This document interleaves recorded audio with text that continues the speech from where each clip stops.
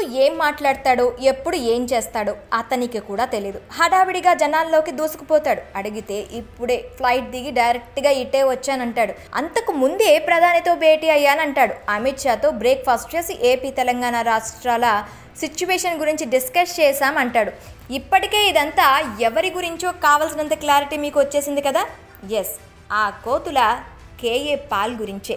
ఇప్పుడు తెలుగు రాష్ట్రాల ప్రజలు మాట్లాడుకుంటున్నారు నిజం చెప్పాలంటే పాల్ కామెడీకి ఇక్కడ జనాలు అడిక్ట్ అయిపోయారు. పాపం రెండు రోజులకు మించి టీవీలో కనపడకపోతే పాత వీడియోలు సర్చింగులు చేసి మరీ కడుపుబ్బా నవ్వేసుకునేంతగా అలవాటు పడిపోయారు. అయితే ఈ మధ్య కాస్త గ్యాప్ ఇచ్చిన ప్రజాశాంతి పార్టీ అధ్యక్షుడు పాల్ మరీ లేట్ అయితే జనాలు మర్చిపోతారని తన కామెడీ చరిష్మాకు బ్రేక్ వచ్చేస్తుందనుకున్నాడో ఏంటో.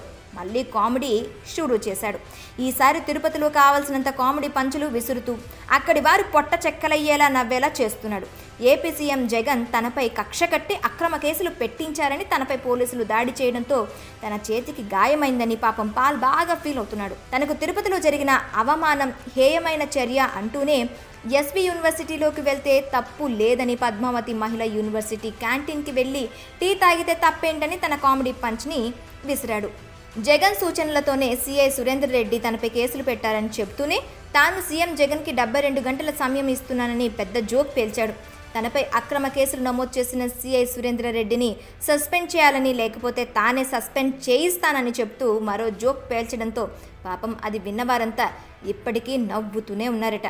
ఇక పాల్ చేస్తున్న ఈ కామెడీని ప్రజలు బాగా ఎంజాయ్ చేస్తున్నారు. మరోవైపు మంగళవారం తిరుపతి మహిళా యూనివర్సిటీలో ప్రత్యక్షమైన పాల్ కాస్త ఓవర్గానే బిహేవ్ చేశారన్న టాక్ నడుస్తోంది. మంగళవారం సాయంత్రం ఆరు గంటల సమయంలో కేఏ పాల్కు చెందిన ఐదు వాహనాల పద్మావతి యూనివర్సిటీలోకి ప్రవేశించాయి. అనుమతి లేకుండా వస్తున్న వాహనాలను అడ్డుకోబోతే ఆయన సెక్యూరిటీని బెదిరించి మరీ లోపలికి ఎంటర్ అయిపోయారు. యూనివర్సిటీలో వెహికల్స్ ఆపి అటుగా వెళ్తున్న విద్యార్థినీలను పిలిచి మాట్లాడటమే కాదు వారితో కలిసి సెల్ఫీలు కూడా దిగాడట.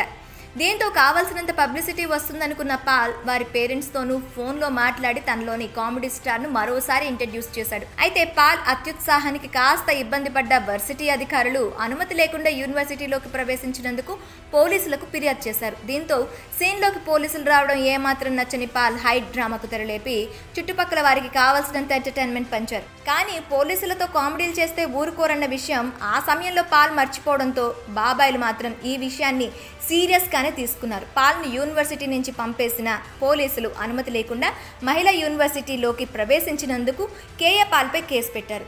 ఇంత జరిగిన తిరుపతిలో ప్రెస్ మీట్ పెట్టిన పాల్ సార్ తెలంగాణలో తాను సీఎం అవుతానని ఏపీలో ఒక మహిళను సీఎం చేస్తానని ఆ కామెడీకి మరింత మసాలా యాడ్ చేశాడు. దీనికి తోడు రీసెంట్గా జగన్కి వార్నింగ్ ఇవ్వడంతో ఈ తిక్కలోడి కామెడీని మేము తట్టుకోలేకపోతున్నాం. బాబోయ్! అని జనాలు గగ్గోలు పెడుతున్నారట.